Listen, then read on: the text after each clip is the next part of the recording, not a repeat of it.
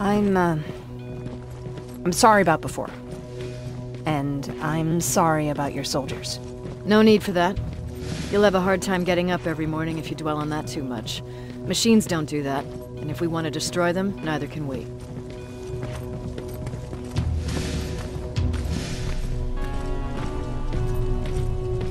Rivers, since Pacific Division no longer exists, you will now answer to me.